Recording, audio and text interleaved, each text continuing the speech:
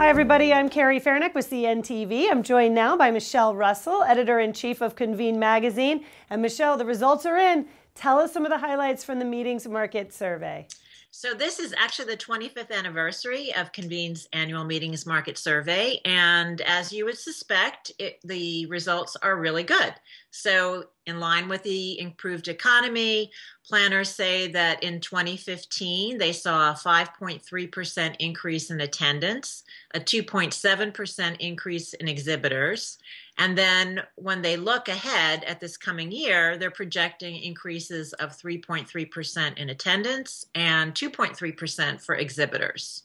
Wow. Okay, that all sounds really good, right? But are there some challenges that also come with these better numbers? Sure. So we don't just look at the numbers, we look at the comments. And there were plenty of comments from meeting planners about the challenge of negotiating in a seller's market.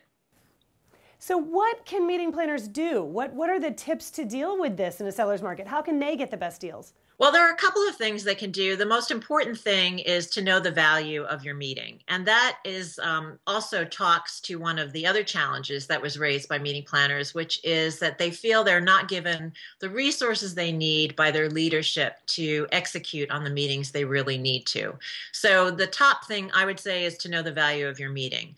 In terms of negotiating, uh, there are a number of things you can do. You can look at reducing extra fees and surcharges, you can sign multi multi-year deals. You can see if you can be a little more flexible with your meeting dates and your pattern um, of your event.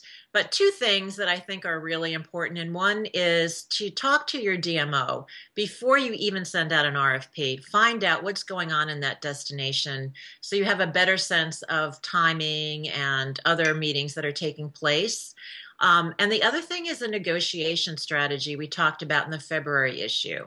And that um, comes from the Harvard Business Review, which is to, um, when you're negotiating, ask a lot of questions. And, you know, don't ever close the door. Just keep proposing solutions and brainstorming and ask as many questions as you can. Really, really good advice. So planners are definitely going to want to check out the numbers from the Meetings Market Survey and insight from you guys at PCMA Convene that you can't find anywhere else. Michelle, thanks so much for being with us. Thank you, Carrie.